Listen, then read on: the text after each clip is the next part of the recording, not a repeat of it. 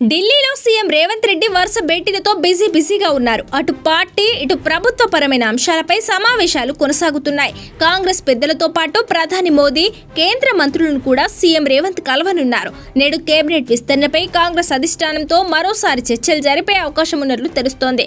Telangana CM Revanth Reddy Delhi పర్యటనపై కాంగ్రెస్ వర్గాల్లో ఆసక్తి నెలకొంది.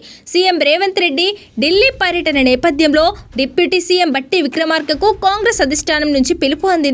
దీంతో ఆయన ఢిల్లీ బయలుదేరారు. దీంతో నేడు కేబినెట్ విస్తరణతో పాటు పీసీసీ నియామకంపై చర్చ ఒక కొలిక్కి వచ్చే అవకాశం ఉన్నట్లు కనిపిస్తోంది. గత కొంతకాలంగా కేబినెట్ విస్తరణపై అనేక రకాల ఊహాగానాలు వినిపిస్తున్నాయి.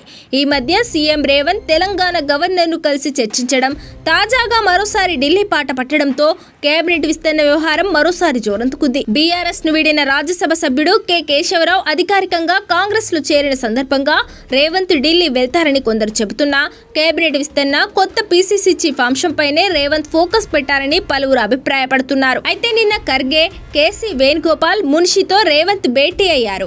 దాదాపు రెండు గంటల పాటు చర్చించారు. కేబినెట్ బెర్తుల భర్తీ అంశంతో పాటు కొత్త పీసీసీ చీఫ్ అంశంపై కూడా వీరి మధ్య చర్చకు వచ్చినట్లు సమాచారం. కొద్ది రోజుల క్రితమే ఢిల్లీ పర్యటనలో ఈ అంశంపై పార్టీ పెద్దలతో రేవంత్ రెడ్డి చర్చించారని కేబినెట్ విస్తరణపై అధిష్టానం నుంచి సూత్రప్రాయంగా అంగీకారం తీసుకున్నారనే వార్తలు వచ్చాయి. ఈ క్రమంలో తాజాగా ఆయన పార్టీ పెద్దలతో ఏ ఏ అంశాలపై క్లారిటీ తీసుకున్నారనే అంశంపై చర్చ జరుగుతోంది. మరోవైపు సీఎం రేవంత్ రెడ్డి ఢిల్లీ టూర్పై ఆశావహుల ఆసక్తికి మరో కారణం కూడా ఉందని తెలుస్తోంది. ఎల్లుండితో ఆషాఢ మాసం మొదలు కాబోతుంది. దీంతో రేపు ఒక్కరోజే అవకాశం ఉండడంతో కేబినెట్ విస్తరణ అంశంపై మరికొద్ది గంటల్లో ఏదో ఒక ప్రకటన ఉండొచ్చనే చర్చ జరుగుతోంది. అయితే మంత్రివర్గంలో చోటు పీసీసీగా ఛాన్స్ కోసం తీవ్రమైన పోటీ నెలకొనడంతో ఈ అంశంపై అధిష్టానం నిర్ణయం తీసుకుంటుందా?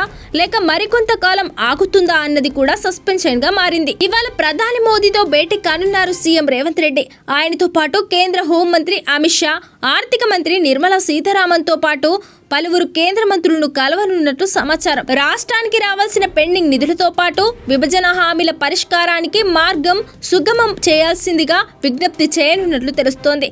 దీనికి తోడు ఏపీ సీఎం చంద్రబాబు కూడా ఢిల్లీలో ఉండడం జూలై ఆరున ఇరు రాష్ట్రాల ముఖ్యమంత్రులు ఇదే విభజన చట్టానికి సంబంధించిన అంశాలపై చర్చలు జరిపే అవకాశం ఉండడంతో ఈ అంశాన్ని కేంద్రం దృష్టికి తీసుకెళ్ళనున్నట్లు తెలుస్తోంది. రాష్ట్రానికి రావాల్సిన నిధులు ప్రాజెక్టుల అంశాలపై కేంద్ర పెద్దలతో చర్చించనున్నట్లు సమాచారం. కేంద్రం ఇచ్చే సమాధానంపై సీఎం చంద్రబాబు రేవంత్ రెడ్డిల చర్చలో ఒక స్పష్టత వచ్చే అవకాశం ఉంటుంది.